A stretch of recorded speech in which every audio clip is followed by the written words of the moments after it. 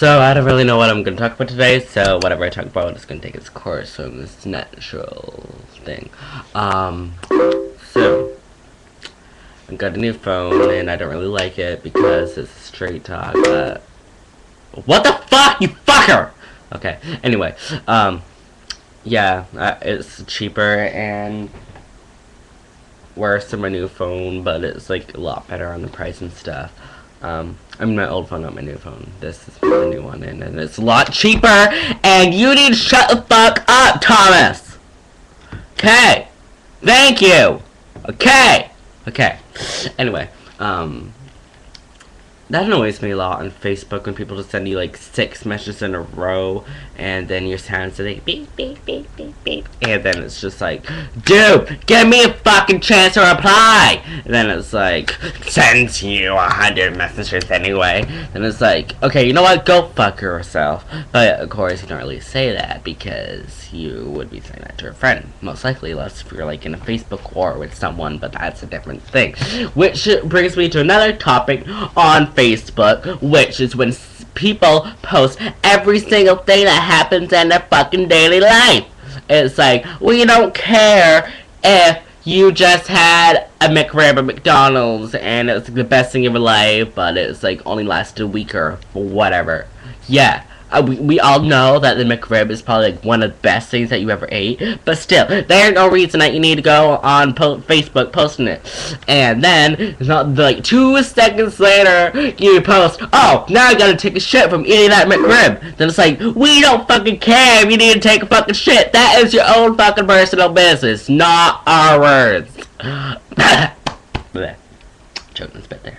Um, but if you're posting like, oh my god, I'm having the best time of my life, you're not really having the best time of your life. Because if you were having the best time of your life, you wouldn't be on Facebook posting it. You would be out there doing it. There's a difference now, isn't there? Yeah. So people on Facebook can be pretty annoying, but um, it's a pretty good thing to just like social thing like MySpace was. Um, but MySpace went out of style because it kept on changing. Like Facebook is changing, so we need to get a new website so we can leave Facebook. Like it even better website than Facebook. Or we should just go back to MySpace. Yeah. Um, I, I, I don't know why I think that may be a bad idea, but everyone just loves Facebook so much, and I don't really understand why. Um, yeah, so, Tom, um, from MySpace. He even has a Facebook. That, that's kind of strange that he would like abandon his own website. I like that top on me. Don't you like that top? It's Abbey Dawn. I like that top. It makes me look like a pop punk anorexic slut. Um, that's what one of my friends said. Yeah. And which reminds me, today I am wearing this one. What the hell? And then, um, yeah. Doesn't make me look as anorexic and pop punk punkish slutty ish like but I, I, like the whole white and black thing going on there. Black and yellow black and yellow black and yellow. I don't know um yeah. So which reminds me this year not 2012 but in 2011 there were a lot of annoying songs. For instance any song Justin Bieber made. Um I think Friday yeah Friday. That was 2011 that was also very annoying Person of Interest by Rebecca Black was also annoying. My Jeans by Jenna Rose. Um, th there are a lot of too, too many annoying songs, and some of them became famous, like Black and Yellow. It's like, what the fuck is that point of the song? I don't know. I only listened to the Black and Yellow, Black and Yellow, Black and Yellow part, and that's like really annoying. Which reminds me of Whip My Hair Back and Forth, which that song is also annoying, but other than that, I whip my hair back and forth, I whip my hair back and forth. It's actually a good song, but it, it just like whip your hair back and forth. You know what, bitch? Stop copying Chris Crocker. He is the one that taught you the hair flip, not your father. Because your father doesn't have any hair, Willow. Yeah. Um, speaking of Willow, Willow Sage Hart, the baby of Pink and Casey, I think is how you, his name. Um, yeah, she was born Willow Sage Hart. Yeah. I wonder how she's gonna grow up. What she'll be like, if she'll be like Pink or not. Um, yeah. what else is there to talk about? What happened in 2011?